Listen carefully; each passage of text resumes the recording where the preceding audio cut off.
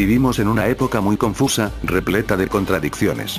Somos capaces de observar estrellas a miles de años luz de nuestro planeta, pero no hemos logrado poner fin al hambre en el mundo.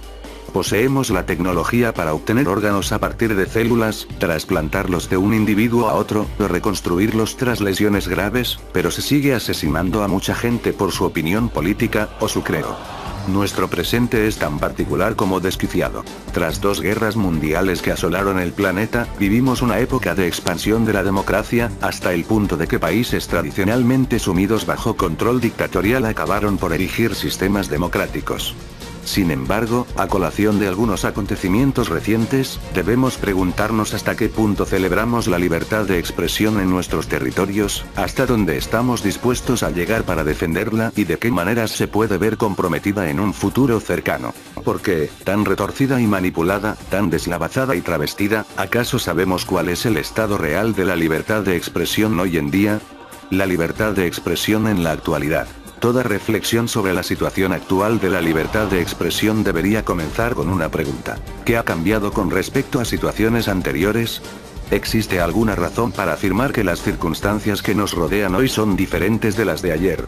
Y, en caso afirmativo, ¿hasta qué punto han influido en la manifestación o percepción de nuestras libertades? Teniendo en cuenta, por razones meramente prácticas, solo el devenir social de los últimos 100 años, resulta claro que el contexto mundial ha cambiado enormemente. Nuestras sociedades son distintas a las de hace un siglo, a las de hace 50 años. Incluso a las de hace solo 15. Algunos de los factores que, con mayor determinación, han definido la idiosincrasia de la sociedad actual son completamente nuevos y ni siquiera estuvieron presentes en momentos anteriores. En mi opinión, algunos de los más importantes son los siguientes. Vivimos en la era de la información. Cualquier acontecimiento, banal o sustancial, puede lograr una repercusión mundial en cuestión de segundos. Las fronteras de lo que nos concierne o no, lo que despierta nuestra atención o pasa desapercibido, han sido eliminadas y le corresponde a cada individuo filtrar, según su juicio propio, la cantidad inabarcable de información que le rodea.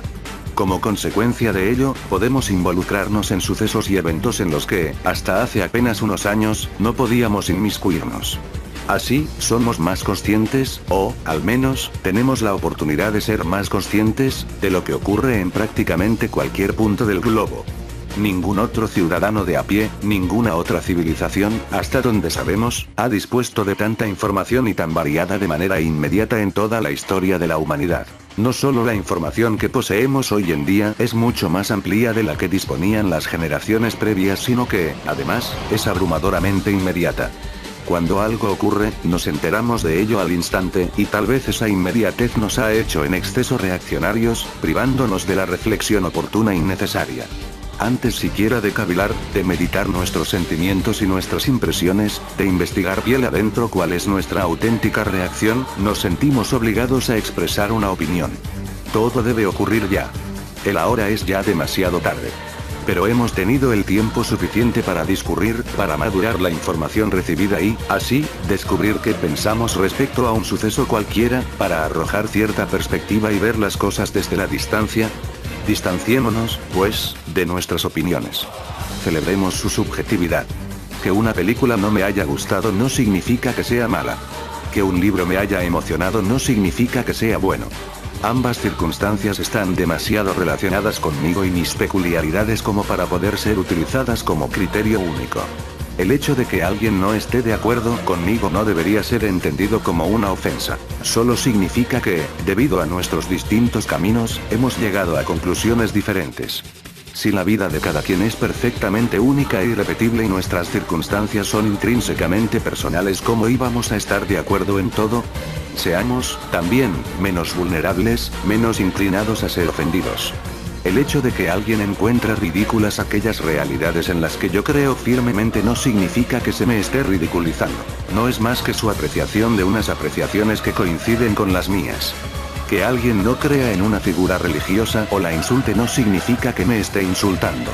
Que otros acepten como verdaderas realidades que yo considero falsas o viceversa no menoscaba mi juicio ni mi capacidad de reflexión. Son solo percepciones distintas.